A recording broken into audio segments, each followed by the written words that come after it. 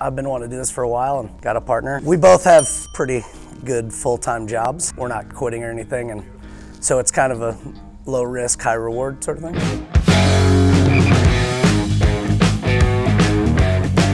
What probably makes us different is the preparation that we go through to do it. To have good barbecue, you can't just slap it on the grill and, and do it trial and error, really.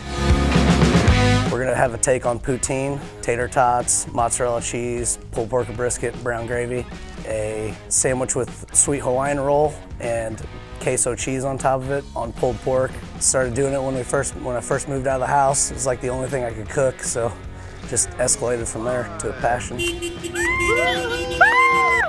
Yeah, we worked with Tony. It was great. Communication was good.